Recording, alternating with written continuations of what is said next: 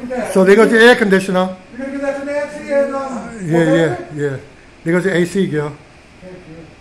Thank you, mommy. Where you going? I'm selling that, so I'm not selling it. I'm giving it to Pete. No, but I don't care. That's what used to say. Oh, you wanna? I want this. You You wanna- presents. There you go. You always got her presents. So what's up, man? Is- This is your last time at mommy's house. I don't know. I might come back and help you during the week. No, no, don't worry about it.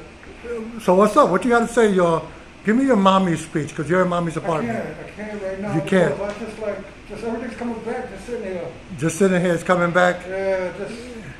Yeah, I was here for her. like, I miss her so much already. That's all. of course, but um, I'll be watching that video all the time. I was here for like 45 minutes before you got here, and just like, I just got this, but I really couldn't get started because I was just like looking around. So you know, I'm gonna come back next week. Right. I'm coming back. I don't know Saturday or Sunday.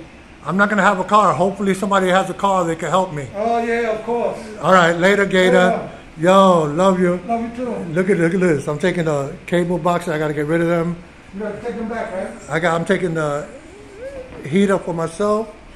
My TV I bought it two years ago, and um, Gilbert's taking the air conditioner. That's it. And mommy got all these pictures that I'm not messing with today. This is I think from 1920. Look at all these pictures. Wow. All right, here you go. Mommy's apartment, guys. This is where mommy. This is the famous Thanksgiving Christmas kitchen. I got the air conditioner on. I started moving stuff around, taking stuff off. All right. I love you, mommy. You're always with me.